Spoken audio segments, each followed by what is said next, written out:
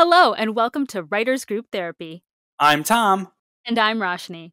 We're writers helping writers with whatever writing ailments you might have.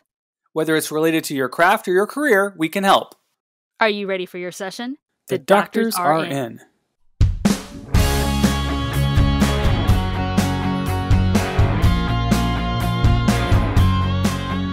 Today we have with us Jenna St. John, actress, writer, and producer. Her most recent project is Sexpectations, a comedy TV series about a romance writer who realizes she's sorely lacking in certain aspects of the romance department. Full disclosure, I play Emily the intern in the show, which is how Jenna and I met. Jenna, welcome to the show. Hello, thank you for having me.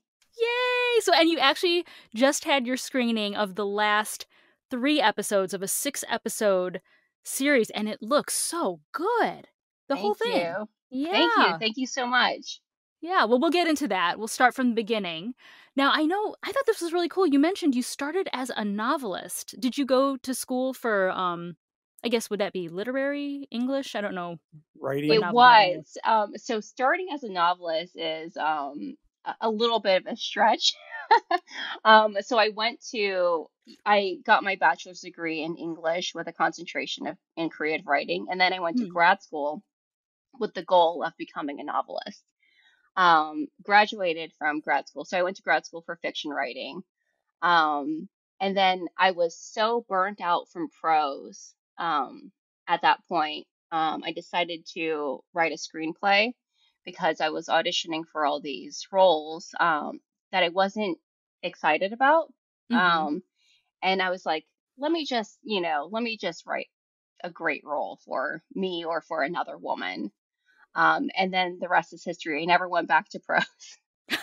um, so it's funny. all hard. All of it is hard.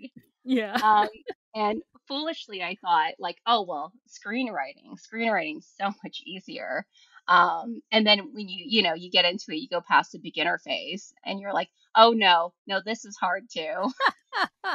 what what genre did you want to write fiction in, or did you not really have a focus? Oh, you know, um, I just literary fiction. You know, I love I I'm a huge reader. I'll read anything. Um, you know, horror, uh, fantasy, anything. I'll read anything. Um, uh, and yeah, so in at the time when I was in grad school, all we were reading was like the classics. Mm. Um, so in my head, I was like, oh well, I'll just be the next, you know, great American novelist. Obviously, that sounds easy um, so it, it never really got there. I never got as far as finding my voice as a prose writer. Does that make ah, sense? okay. Yeah. No, it does. It's funny because I'm kind of in the other bucket where I started out in like screenwriting and I still write scripts every so often, but now I'm in novels and like for me, besides obviously the format and other things, the biggest difference is like at least when I write a novel, I don't have to collaborate with anyone and worry about like wardrobe and camera angles and like lighting. But like besides the technical stuff, what do you see as like similarities and differences between the two writing worlds? You know, um you know, development is similar. The the need for a beginning, middle, and end is similar. And the need to um to respect your audience and you know keep it keep it moving like keep everything entertaining. Um the difference is is in the dramatic action in a screenplay is all visual it's all external.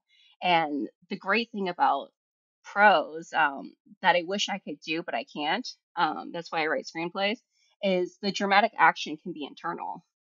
And that's just fascinating. And i think that's why like you can read a book and you feel like you really know someone like you're there and you know when um when somebody dies you you feel it you feel it in your heart um and in in a screenplay i think it's um so much harder to achieve that because you can't like capture a life um in 90 minutes really um but yeah, did, did I answer your question? I you feel like did. I just kind of rambled. no, no, no, no. I mean, it's it's interesting too, and I know you come at it from an acting background. One thing I always think that's interesting, like you're talking about the internal dialogue, is like, yeah, like in a book, you as the reader, as the audience, are sort of told what the characters are feeling and thinking because that's just how it is. But like when you're watching a film or a TV show, because they're not necessarily monologuing internally, you as the audience sort of imprint on them a little bit more and you feel it a little bit more because you're kind of putting yourself in that Yeah. character's shoes. Yeah, for sure. Yeah, That's cool. absolutely. I notice you also act in a lot of the projects you've written. So did your writing, your screenwriting start like as a showcase for your acting work? Like you're like, I need to write the roles that I'm not finding for myself? Or were you just like, nah, I just want to write to see how it all turns out? Um, you know, initially, um, I it's not acting is not something that um brings me the same kind of joy as writing. If I never if I'm never in front of the camera again, I think I I would be happy. Oh, wow. I know. Um, I'm extremely camera shy. Um, I think I'm I I guess I consider myself like a closeted introvert. Um, so I I feel very comfortable um in the writing space and collaborating with, you know, other writers and producers and directors um to tell the story. Um, acting, I feel like I came up through theater and that's just so different from film and being a young adult or a teenager being like oh well naturally i'll just pivot into being a movie star um, and you don't realize like how different it is yeah. um, so yeah um, i you know i i think i i act you know expectations um, we asked a lot of our actors um, and situations and you know uh there was a lot of like simulated sex and i think i i put myself in that role um so i wouldn't have to ask someone else to do it if that makes sense Oh, that's interesting. Because I was going to say, I mean, uh, so we'll get into it, but you're basically like the second lead.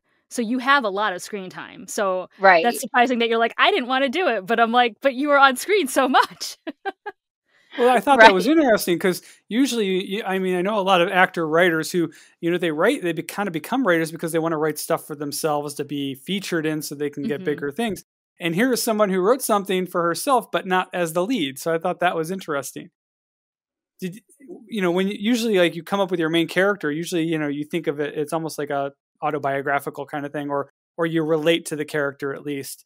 But in this case, is what you know, you wrote a character for someone else to play, yeah and i think uh probably in real life i'm i'm more of a katie than a victoria. Um katie being the lead of lead of sexpectations um and sophia medley plays her and she does a fantastic job and she actually wants to be an actor.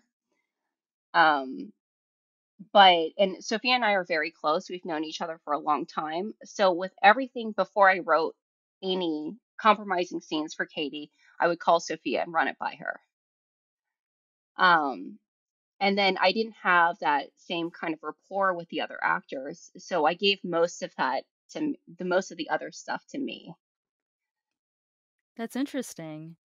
That's cool. Yeah, I mean, the funny thing to me is like, honestly, so obviously, we'll just put a plug in now. Guys, check it out. It's on Amazon.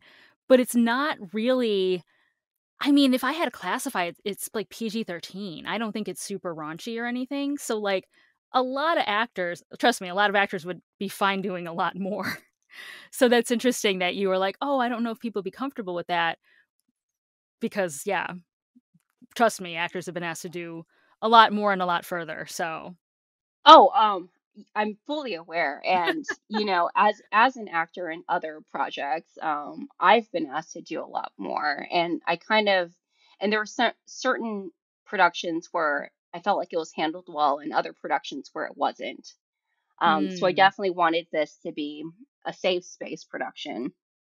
But even like as simple as a kiss, we would have um, we would have talent kind of raise their hand and say, "Uh, you know, how's this gonna go?" that's really Um, good. yeah, and we would have to um, talk them through it because obviously we're asking actors, other actors, to do a lot more than a kiss at times. Um, so when that question came up, it kind of took Kevin and I by surprise. Like, oh, yeah, everyone's boundaries are in different places. And so we would always tell our actors, like, we hired you for your talent, not for your, you know, I don't know, your risk aversion or lack thereof. hmm And Um, Kevin Kevin was the director, correct? Right. correct. Yeah. Kevin Kevin Good's the director, and he's my husband as well. Convenient. that works out well. So speaking of safe space, because you have collaborated with your husband on several other projects, what is that like working with um, your husband on such high stress projects like TV and film? You know what I mean? Like, Yeah, it's good. I mean, we met we met through working. Um, so I think for us it was a natural a natural fit. Um, we didn't have to try and figure it out. Um, you know, uh, that's kind of that's kind of where we were introduced to each other. Um, in this, um, in Sexpectations, it was interesting because he had to direct me in a sex scene and direct another a lot of other um, scenes as well. Yeah, and it it was great. It was great having him. Um, and he was always he's always been, you know, my biggest cheerleader, and he would tell me, just write the story you want to write. Don't worry about producibility. We'll figure that out later. Um, if we need to scale something back, we can do that, and then we just never do. Well, that's cool. Um, one of the things I thought was really interesting is, I, you know, for a lot of indie productions, this has a really high production value. I thought you do a lot of unique things. You've got some fantasy, some puppetry. You've got um, a lot of stuff going on. It has a very good production value for an indie uh, production.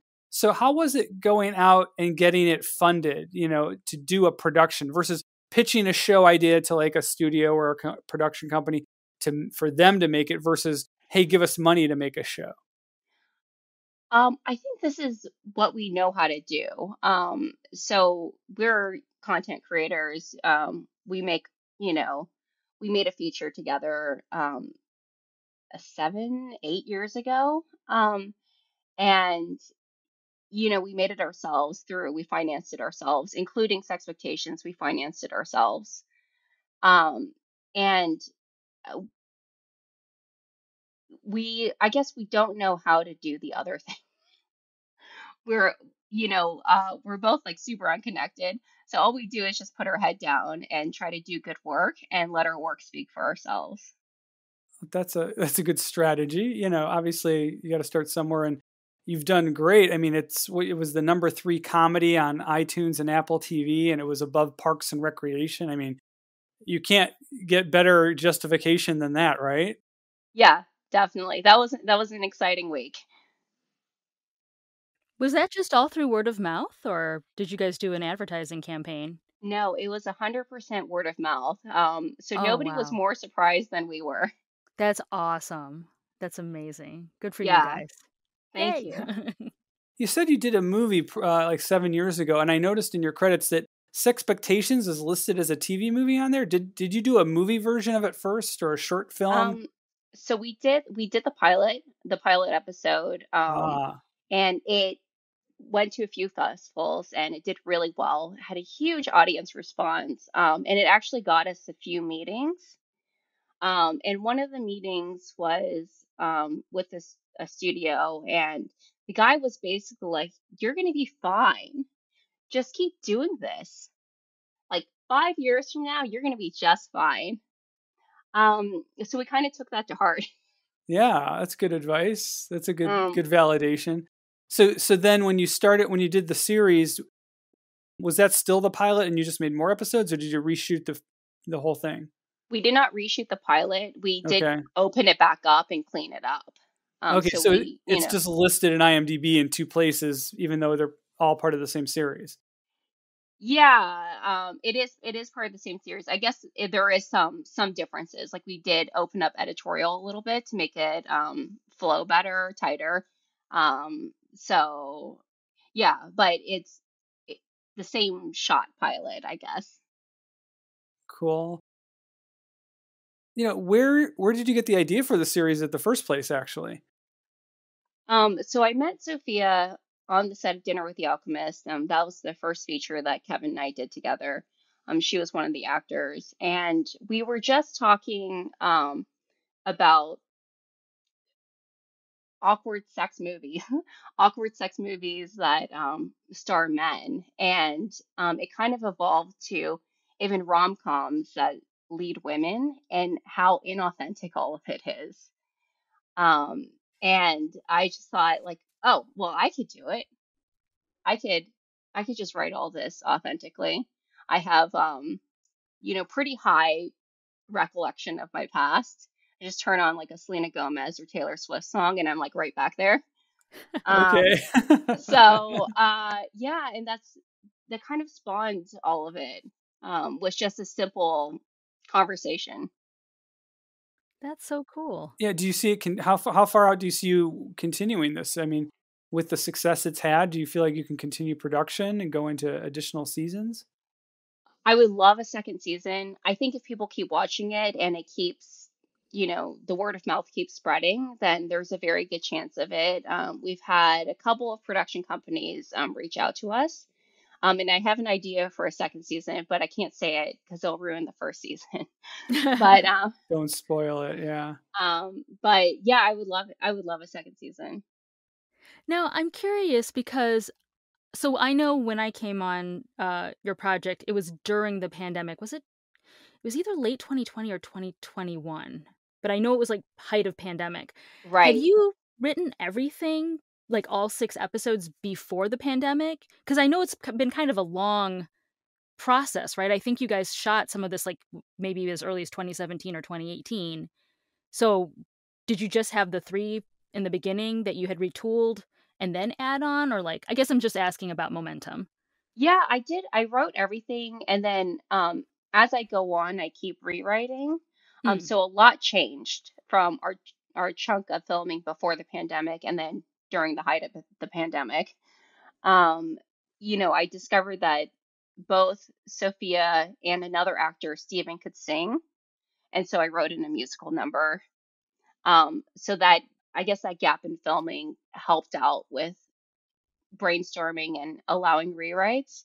Um, and then a couple of things I rewrote, um, you know, like the day that we were on set and there was a scene coming up, and I was like, I have a better line. So I rewrote it and pitched it to the actors for them to deliver it another way. Um, so as long as I have, I'll keep evolving That's awesome. until I can't anymore.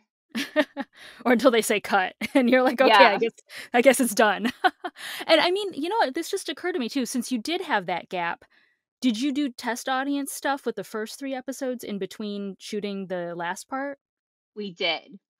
And I'm a huge fan of test audiences when it comes to comedies because hmm they're so easy. You just, so we just tucked in a corner and we listened to all the laughs.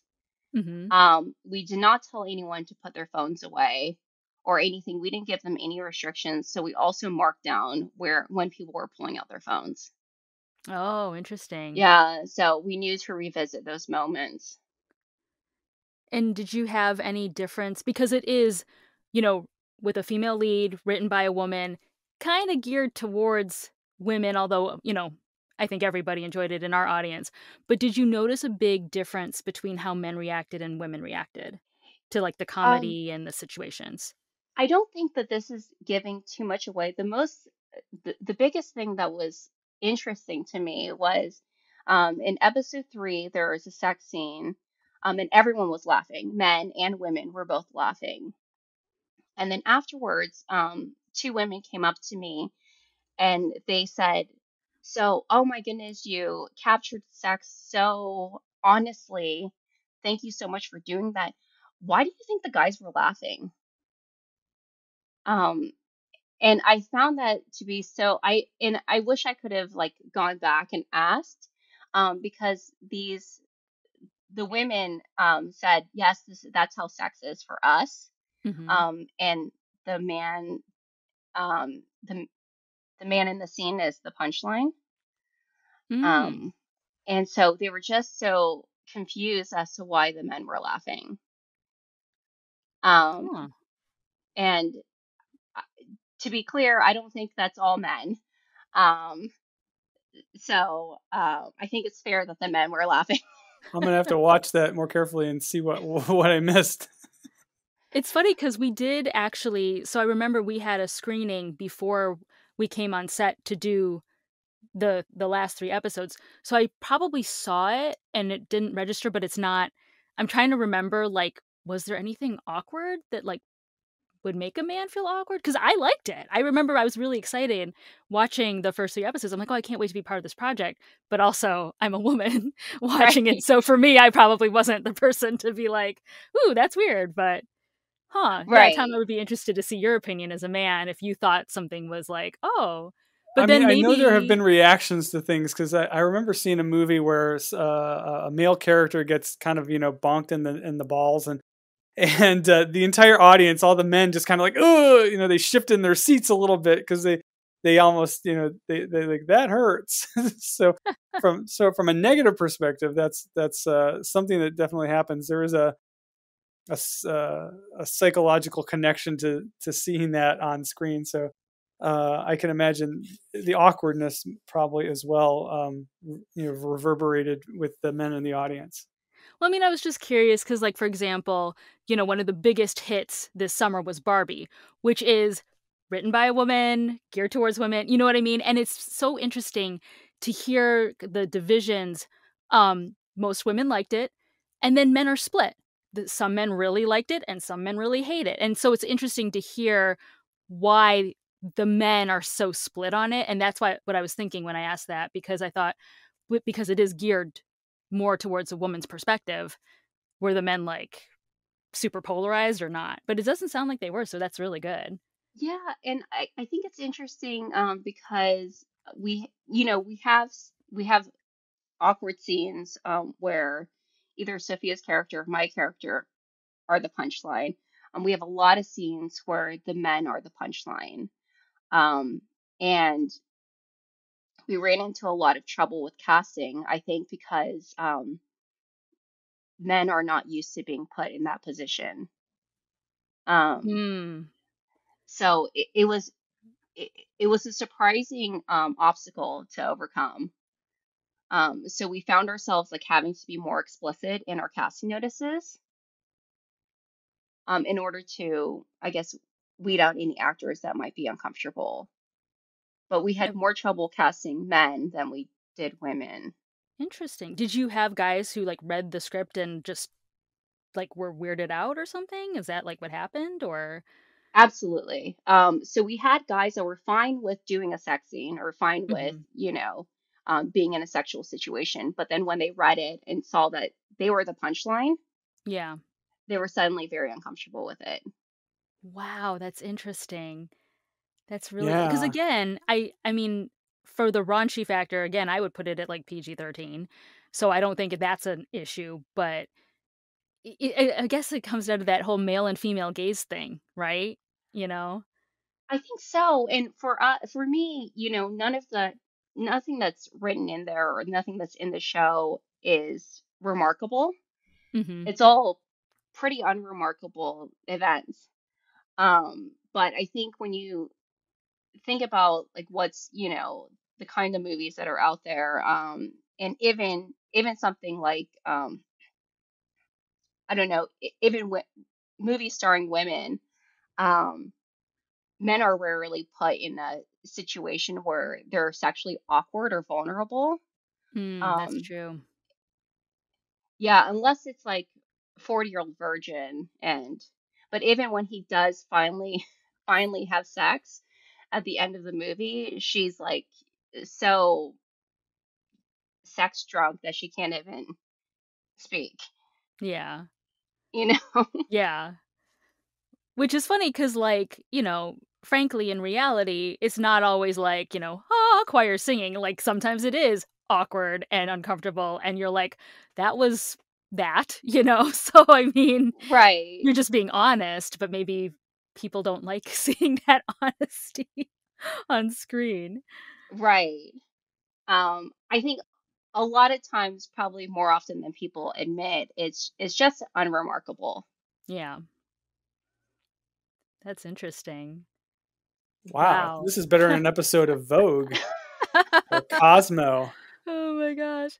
Well, I mean, it's just it's just funny because again, like I said, coming coming at it from a woman's perspective, I thought everything was fine. Like I would not have expected that, but it makes sense that maybe some guys, especially if they you know, as actors we play kind of close to our uh ourselves. And so maybe if they were like, you know, I'm the brooding, sexy leading man, they don't think of that in their persona. So you never know. But right, right. That is crazy. So then, what's next? Are you working on season two, or working on other projects? What's happening? Um, I have I have a few spec scripts. Um, so I I had a I have I'm working on spec scripts now because I just finished some professional assignments. So I delivered a script to Hallmark. So now I'm in like this waiting period of waiting for um, everyone more important to me to read it and give me um, their notes as to what's wrong with it. Oh no, um, it's fine. That's the way it goes. It's all collaborative. Um, and then a family film that I wrote a year ago um, is in post production now. I think it's almost complete um, or in the finishing stages. Um, so now I'm in kind of this, you know, dead zone um, where I'm trying to work on my spec scripts because um, as a as an unrepped writer, that's my currency mm. is finished scripts and we're waiting for that machine to start up now that the strikes are kind of hopefully mostly figured out. Right, right. yeah. So there's a bit of that delay. Well, that's awesome. Good luck to you. Keep us posted Thank on how you. it's going. Let us know when those get made and distributed and when Sexpectations 2 can come out. And if people want to find you online, how can they do so? Um, my only public social media account is Instagram and it's at Jenna St. John um, with a period after the T. So Jenna St. dot John. Um, and they can find Sexpectations on Instagram as well at at Sexpectations TV. Very cool. And everyone, make sure to check it out on Apple, and it is on Amazon, right? Correct. Okay, that's what I thought. I said, hmm, maybe I got this wrong. Apple, Amazon, where else is it at? It's just on Apple and Amazon. Um, it'll open up to more platforms. We're just waiting to hear back on a release date. So as soon as we get those, um, we'll have um, we'll blast it out on our social media. Can't cool. wait. Awesome. Good luck with that. Yeah. Awesome. Thank you. And for the rest of you, we will see you in a few weeks. In the meantime, you can find us online at writersgrouptherapy.com and on Instagram, X, everywhere else at WG Therapy. We will see you soon.